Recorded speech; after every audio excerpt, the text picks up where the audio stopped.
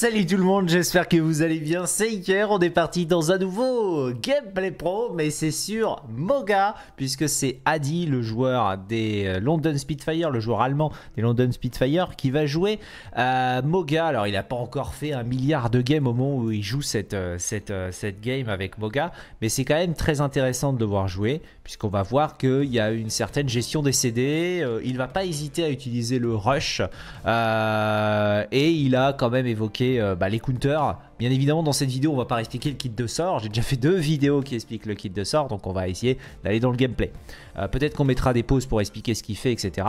Il y a une gestion de CD qui est assez intéressante sur lui, qui est le fait de faire la charge, puisque la charge fait que vous ne peut pas vous arrêter. Euh, voilà, le, seul truc qui vous counter énormément, c'est la grenade anti-heal d'Ana, puisque quand vous arrivez de votre rush, en général, vous avez envie d'appuyer sur votre sort qui permet d'ajouter de l'ADR et du heal à Moga et aux gens qui sont autour de lui. Donc euh, bah, vous pouvez complètement le counter en, euh, en, lui mettant une grenade de heal à ce moment-là. Une grenade anti-heal à ce moment-là sur Ana. Euh, bien évidemment, si vous prenez aussi l'orbe de Zenyatta qui fait que vous subissez des dégâts en plus, bah, cette façon de jouer là devra être mesurée. Hein. Si vous jouez contre Ana Zenyatta, sachez que la Ana, il y a de grandes chances qu'à la fin de votre rush, elle vous anti-heal pour vous counter. Euh, et euh, que le Zenyatta va vous mettre l'orbe pour vous counter également. Donc il euh, faut faire attention à ce genre de choses, puisqu'il n'a pas, il pas de moyen de gérer la grenade d'anti-heal Nana, donc il faut faire attention à ça. Bien évidemment, vous pouvez jouer en théorie une Kiriko pour contrer la grenade anti-heal Nana, mais vous savez que le CD de la Suzu est plus long que celui de, de celui Nana. Mais bref. Donc on, est sur Colosseo, on va regarder un petit peu tout ça, je vais m'enlever pour que vous voyez un peu mieux l'écran. On va pas réexpliquer le personnage, je l'ai déjà expliqué suffisamment. Donc bien sûr, on a euh, la mécanique d'utiliser le clic gauche d'abord pour appliquer la brûlure qui permet d'appliquer le clic droit qui permet de faire des crits. On rappelle que quand il y a la brûlure, la brûlure soit mis avec votre clic gauche, soit mis avec la grenade de, de, hache par exemple, vous faites des coups critiques garantis. Donc c'est-à-dire que vous tirez dans la tête en tirant dans le pied. En gros, euh, quand la personne est en train de brûler. Donc c'est très important d'utiliser. Euh, l'arme est vraiment pas précise. Donc voilà, il se prend déjà une petite grenade anti ça fait toujours plaisir. Il va chercher le pack de soins et vous allez vous voir, il va s'en bouffer pas mal hein, des grenades anti-heal pendant tout, euh, tout, le, tout le gameplay. Parce que c'est vraiment le truc qui pourrit un petit peu le gameplay. Donc il faut vraiment punir une Ana si elle rate une grenade ou ce genre de choses. il arrive derrière sur la... Euh, et il se fait pile la Brigitte et la Anna. On passe aussi de l'autre côté. Il a dit aussi que c'était très difficile de placer le stun. En fait, on a du mal à l'appliquer le stun. Et voilà, hop, il se fait tuer. On va se regrouper. Et euh, bon, bien sûr, il joue beaucoup plus agressif. Hein. On n'est pas dans une game de Overwatch League ou dans une game euh, de Ranked. On est dans une game où il a fait un lobby avec les gens qu'il connaît. Donc c'est quand même un assez bon level. Avec pas mal de joueurs allemands de l'équipe allemande de l'Overwatch League. Euh, enfin, pas de l'équipe de l'Overwatch League, de la World Cup. Pour continuer à s'entraîner à jouer ensemble. Donc là, on voit le petit truc pour pouvoir passer au-dessus en rappuyant sur le clic gauche quand on est en l'air. Parce qu'en fait, on peut clic gauche quand on est en l'air pendant le charge. Et ça fait le saut. Ça fait qu'on peut rester sur les positions. On a la Anna qui a réussi à placer un slip. On attend. Reste sur la hauteur. On va chercher le Sigma. Il s'est fait ulti.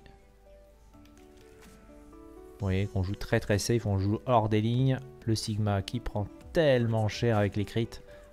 Derrière on rush la Sojourn. Sojourn. On essaye de la tuer.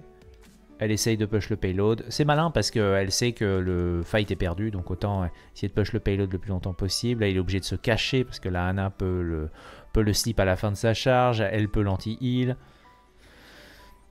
Donc obligé de la jouer assez prudemment. On essaie de caber la, la, la, la Widow. Alors ce qu'il ne fait pas, et ce qu'il pourrait le faire par exemple, c'est qu'ici il se doute qu'il va pas réussir à faire tomber la Widow et pas réussir à faire les 20 dégâts ou 42 dégâts maximum. Bon 80 c'est le maximum, il faut vraiment être collé autour de, Moga. Il pourrait cancel son dash pour euh, directement repartir dans une animation et pas avoir l'animation du moment où il frappe le sol. Ça, ça va être important de le maîtriser, c'est-à-dire si vous êtes sûr que votre charge ne passe pas, qu'elle ne fera rien, autant la cancel et pas la valider quoi parce que vous voyez selon la réaction, selon la réaction des adversaires, si vous allez faire un bon, euh, un bon saut ou pas. En général, on peut le prévisualiser un petit peu, surtout quand on, prendra l'habitude de le jouer. il touche la Sojourn, mais vous voyez, il se fait direct anti-heal, direct anti-heal et direct euh, la pression qui lui est mis. La hanche qui reste instant parce qu'elle avait compris qu'il allait crever. Il se fait ulti, il perd 50% de ses PV. Là, Anna se fait tuer par l'ulti euh, de Bastion. C'est assez compliqué de survivre avec Bastion. Par contre, c'est sûr qu'il crée de l'espace, forcément, puisqu'il va euh, forcer le focus de beaucoup, de, gens. Donc forcément, Moga a tendance à créer quand même pas mal d'espace, qui va libérer l'espace à un Bastion et une Sojourn. C'est un personnage où il faudra quand même avoir des coéquipiers qui sont bons. Parce que vous allez, euh, vous allez vraiment, vous, êtes, vous avez une hitbox qui est tellement grande, que vous allez prendre tellement de dégâts, qu'il faudra que les autres s'en servent, bien évidemment, de l'espace que vous allez créer. Hop, encore un anti-heal. Euh, c'est le plaisir. Donc là, il a enfermé le Sigma et la Sojourn dedans. Et donc là, il a munition infinie. Donc là, faut tirer. Mais faut quand même faire attention à pas trop prendre de dégâts. Donc il joue avec le mur. Et il repart. Oui, ça change des ultimogas que vous claquez en, casu ou vous faites pentakill. Mais forcément, dans une game comme ça où c'est quasiment un scrim. Où il doit jouer beaucoup plus prudemment. Hein. Là, vous sentez que c'est pas du gameplay... Euh, euh, normal, hein, c'est du gameplay où les gens jouent bien. Donc, euh, de se planquer tout le temps.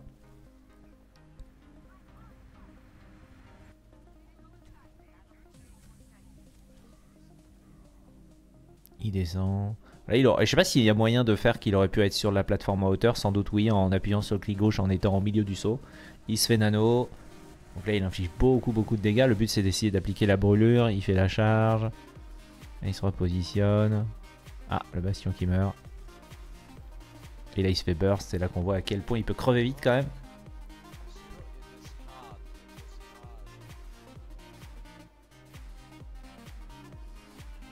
Il dit à quel point c'est difficile de jouer euh, le personnage. En fait, il dit c'est dur de jouer le perso.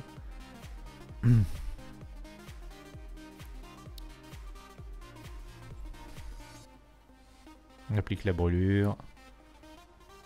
Le Sigma qui récupère des trucs. Vous voyez, on détruit par contre le shield assez vite de Sigma. Donc bien évidemment, il, a, il a une capacité à détruire les shields qui sont plutôt bonnes pour un tank. Là où beaucoup de tanks vont galérer à détruire eux-mêmes le shield de Sigma, lui il peut s'en sortir.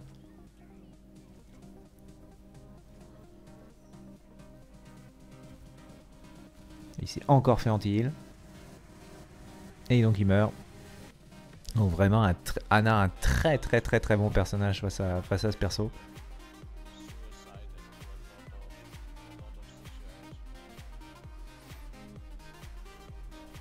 Let's go. Ce qu'il dit là, c'est que le fait de dash in, euh, le fait souvent, euh, le, faire, le fait, euh, ça, risque de, tu risques de te suicider en, en dashant tout le temps in comme ça. Après, là, mignon, il essaye le personnage. Hein, on a vu qu'il était anti et qu'il récupérait de la barre verte, donc a priori ça marche. Hein. Quand t'es anti il récupère quand même de la barre verte si tu mets balance des crits.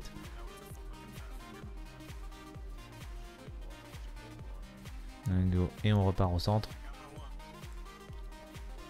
Vous voyez ce que vous allez vous prendre quand vous jouez, allez jouer Moga, vous allez prendre de l'anti en permanence. Après, euh, c'est euh, la plupart des bananas et vont balancer des anti en permanence, mais euh, là, ça vaut vraiment le coup de le balancer sur le tank, puisque ça lui, surtout après sa charge, puisque tu sais qu'il repart pas instantané. Parce que la base, le cycle de Moga de base, ce serait vraiment quand vous n'avez pas une Ana face à vous, hein, c'est dasher in pour être suivi par vos coéquipiers, par un Lucio, par ce genre de choses, et par un Reaper, etc. Et ensuite d'appuyer sur votre E pour pouvoir appliquer de la DR aux gens autour de vous, vous-même, et euh, du heal.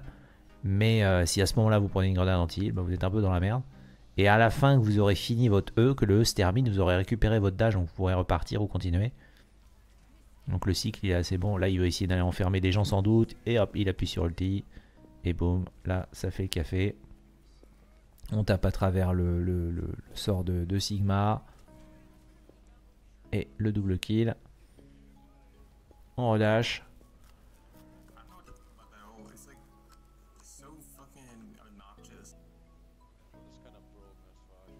On va reprendre le top ici pour zoner les adversaires. On cherche sur Lanzo.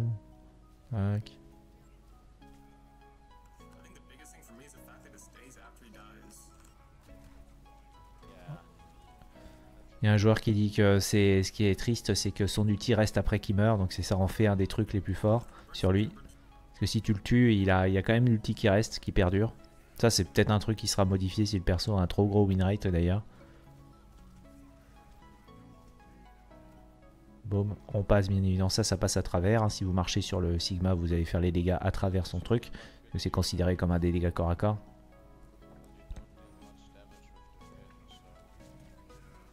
On rush la Hana, tac. Je crois qu'elle avait pas, c'est parce qu'il avait pas de grenade et on repart. Chaud du cul, mais ça passe.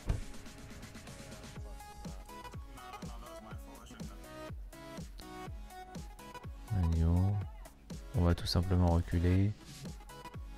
Kiriko qui se TP, on attend bien le repop du bastion et de rejouer avec lui. hein. En attendant ici le, le payload qui passe. Et il y a un chopper, là la petite planque, bien sûr. Attention chopper, le chopper brûle, donc le chopper c'est full crit dessus. On attaque. La Hana qui est bien positionnée.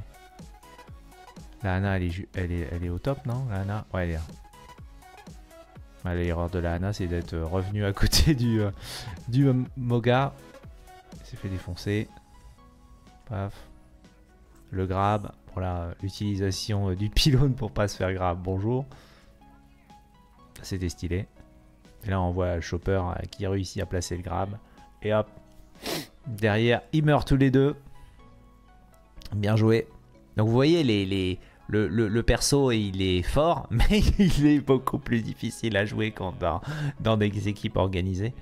Et il faut vraiment que les gens, euh, quand ça joue bien, il faut vraiment que les gens servent de l'espace créé par le personnage, parce que c'est sûr qu'il crée de l'espace, mais il, il meurt quand même très très vite hein, quand il est anti-heal.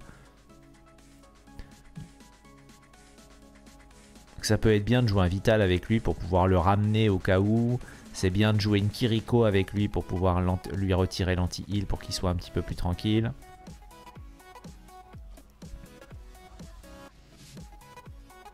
Il se fait défoncer par le petit chopper.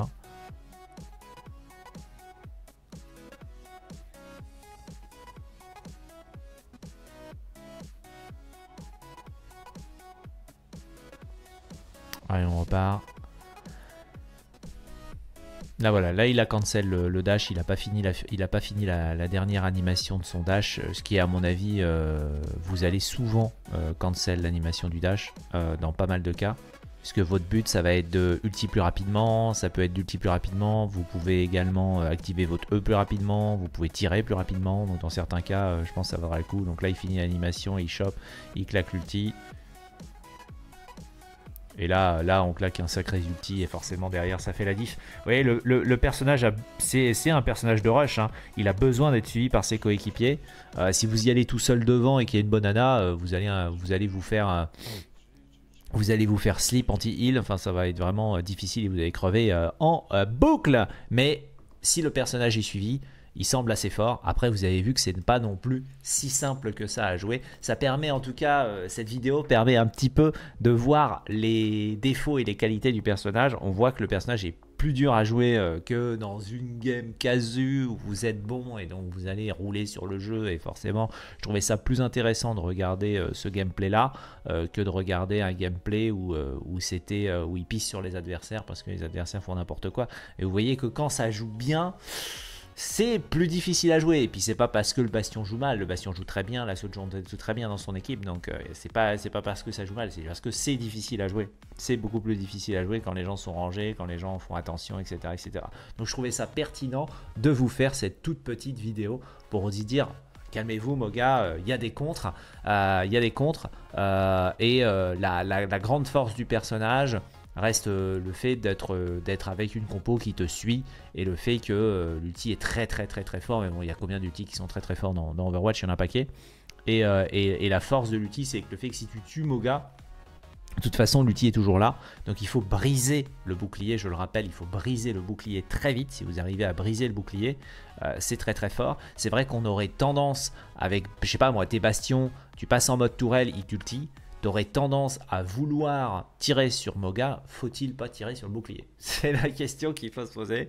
Euh, faut-il pas tirer sur le bouclier Puisqu'on rappelle que euh, les personnes qui sont enfermées euh, dans l'ulti Moga, euh, bah, s'il y a une nana qui est à l'autre bout de la terre en train de tirer, bah, les gens enfermés, elle ne peut pas les soigner. Puisqu'on rappelle que les heals de Anna ne passent pas à travers les shields. Euh, de Kiriko non plus, le de Baptiste non plus, etc. etc. Il s'arrête au bouclier. Donc tant que tu n'as pas pété le bouclier, Anna ne peut pas t'aider euh, véritablement. Il y a juste Vital qui peut te push, qui peut te pull et te ramener. Donc Vital est un counter à, à Stulti. Mais il faut. Pour moi aussi, Baptiste. Anna est un gros counter au personnage parce qu'elle l'anti-heal à la sortie de, son, de son dash à chaque fois. Et donc ça va te mettre dans la merde parce que ton E sert à rien. Hmm, enfin, si ton E sert un peu pour l'ADR, etc.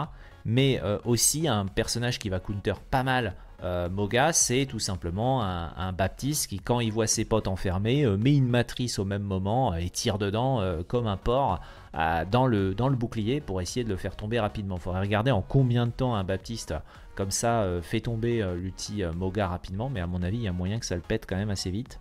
Euh, donc, euh, voilà. N'oubliez pas de péter le bouclier. Donc des compos qui peuvent péter le bouclier rapidement fait que ça va annuler l'outil très très vite. Et voilà, voilà. Et on rappelle que quand vous annulez l'outil, bah, Moga n'a plus balle infinie, euh, etc., etc. Donc c'est quand même important. C'est vrai que ça peut être un peu une déformation de se dire il faut que je tue Moga, puisque finalement si vous tuez Moga, vous ne détruisez pas l'outil. Vous êtes toujours enchaîné. Donc peut-être que la, la bonne solution, c'est peut-être d'essayer de trouver des compos qui détruisent le shield très vite. Euh, pour, euh, pour pouvoir tout simplement rendre son outil obsolète. C'est quand même pas les, les, PV de son shield, c'est quand même pas les PV du shield de Symmetra, qui lui, bon bah bon courage pour le, péter, mais c'est quand même tombable à mon avis rapidement si toute l'équipe s'y met.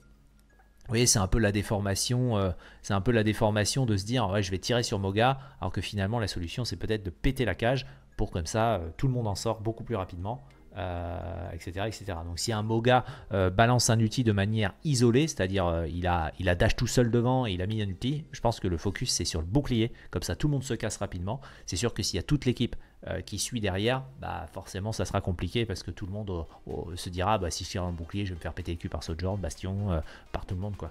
Donc, donc voilà voilou. Voilou. J'espère que cette vidéo vous a plu. ça a permis, voilà, comme d'hab, de de, comprendre qu'il y a des counters et qu'il va falloir les connaître et qu'il va falloir les maîtriser. Euh, voilà, voilà, des bisous. Merci d'avoir regardé cette vidéo et puis on se retrouve dès demain pour un nouveau gameplay euh, sur la chaîne. Sera sans doute un coaching parce que j'en ai beaucoup. Il y en a beaucoup qui ont été présentés ce week-end pendant la BlitzCon, etc., etc. Et il y avait quand même pas mal de choses à dire. Euh, euh, je vais essayer de voir si on a des confirmations sur quand va changer le système de ranked pour peut-être vous le présenter dans une vidéo, une vidéo succincte d'une dizaine de minutes pour vous présenter le nouveau système de ranked qui arrive. Si ça vous intéresse, vous me le dites en commentaire et je vous fais une petite vidéo demain là-dessus pour ceux qui se posent la question de qu'est-ce qui va changer en 2024 pour le système de requête. Ils ont dit que ça fait maintenant euh, quelques mois qu'ils bossaient sur un retravail là-dessus. Ils avaient compris que c'était un peu dégueulasse cette histoire de 5 wins, je sais plus combien de lose. Euh, ce système-là, euh, il faut un système plus clair et vous allez voir le, si le système est quand même beaucoup mieux. Des bisous, ciao et à demain.